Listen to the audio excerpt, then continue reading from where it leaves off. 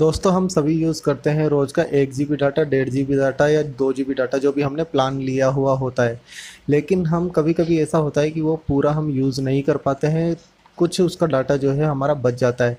जैसे कि सपोज़ मैंने डेढ़ जी का जियो का प्लान लिया हुआ है और कभी होता है कि मैं 700 सौ यूज़ कर पाता हूँ, कभी 50 परसेंट यूज़ कर पाता हूँ, मेरे पास मैसेज 50 परसेंट का ही आ करके रह जाता है। कभी होता है कि मैं 1100 सौ तक यूज़ कर लेता हूँ कभी कभी पूरा भी मैं डाटा यूज़ कर लेता हूँ। लेकिन जो बचा हुआ डाटा है, कई बार जो बच जाता है, आप लोगों ने सोचा है कि वो बचा हुआ डाटा कहाँ जाता है या क्या होता है उस डाटा का? मैं बताता हूँ आपको। अगर आपने जियो का प्लान लिया हुआ है तो आपके बचा हुआ डाटा सीधा चला जाता है मुकेश अम्बानी जी के पास में और वो रोज़ रात को बैठ कर उस पर नेटफ्लिक्स के वीडियो देखते हैं। मज़ाक कर रहा हूँ दोस्तों, ऐसा बिल्कुल भी नहीं है।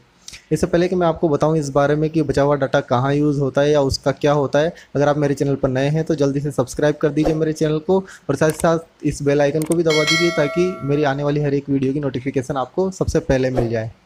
तो दोस्तों, होता ये है कि आपने जो भी प्लान लिया हुआ है, एक जी बी दो जी बी डेढ़ जी बी पर डे का तो आपको एक लिमिट फिक्स कर दी गई है कि एक दिन में आप दो जी बी डाटा या डेढ़ जी बी डाटा आप डेली का यूज़ कर सकते हो। लेकिन अगर आप वो डाटा यूज़ नहीं कर रहे हो तो वो ऐसा नहीं है कि आपको मिल गया और बाद में वापस आप उसको यूज़ नहीं कर पा रहे हो।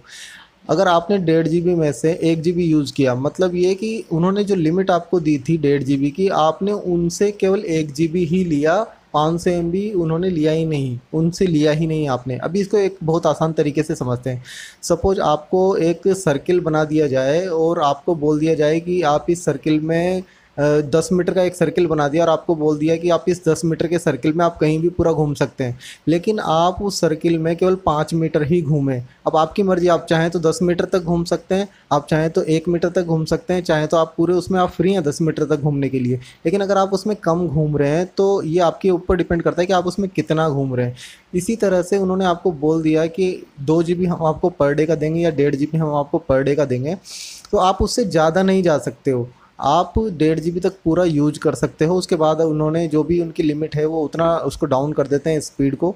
तो ये होता है एक्चुअली आपने मतलब डेढ़ जीबी का प्लान लिया हुआ है तो डेढ़ जीबी में से अगर आपने ग्यारह सौ एम यूज़ किया तो आप ग्यारह सौ एम ही उनसे लिया, आपने बाकी का चार सौ एम लिया ही नहीं। तो वो ऐसा नहीं है कि आपके पास आ गया है या फिर वो कहीं और चला जाता है एक्चुअली आपने वो लिया ही नहीं उनसे पूरा डाटा।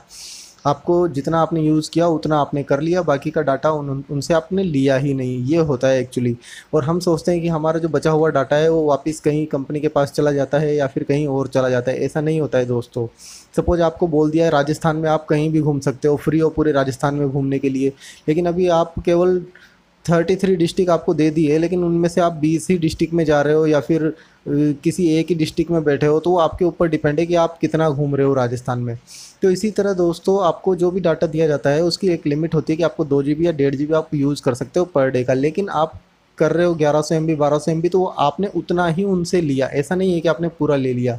जबकि पोस्ट पेड में ऐसा नहीं होता है, दोस्तों। पोस्ट पोस्ट पेड प्लान में क्या होता है, अगर आपको जैसे सपोज़ कोई भी आपका प्लान है तो उसमें आपको बीस जी बी पर मंथ या पच्चीस जी बी पर मंथ मिलता है, वो आपको दे दिया जाता है पूरा का पूरा डाटा फिर क्या होता है कि अगर अब वो पूरा डाटा आपको दे दिया, इसका मतलब कि वो आपने अगर 20 में से 10 जीबी ही यूज़ किया एक महीने में तो बाकी का जो 10 जीबी वो आपको दे दिया, यानी कि आपके पास बचा हुआ है सेव तो जब नेक्स्ट मंथ फिर से 20 जीबी मिलता है तो उसमें 10 जीबी पहले का भी एड होकर के वो टोटल 30 जी हो जाता है, क्योंकि उन्होंने वो पूरा डाटा आपको दे दिया। लेकिन प्रीपेड में जो कि पर डे के प्लान आते हैं, उनमें ऐसा नहीं होता है। उनमें एक लिमिट फिक्स कर दी जाती है कि आप रोज़ का इतना मैक्सिमम ले सकते हो।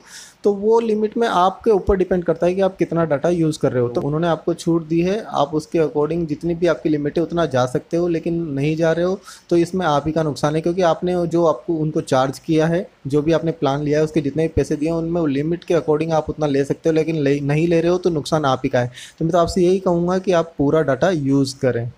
तो दोस्तों, यही थी आज की वीडियो। अगर आप लोगों को पसंद आई हो तो प्लीज़ लाइक कर देना वीडियो को और साथ ही साथ जाने से पहले मेरे चैनल को सब्सक्राइब कर देना ताकि आने वाली हर एक वीडियो की नोटिफिकेशन आपको मिलती रहे। चलो, मिलते हैं लोग आपसे अगले वीडियो में।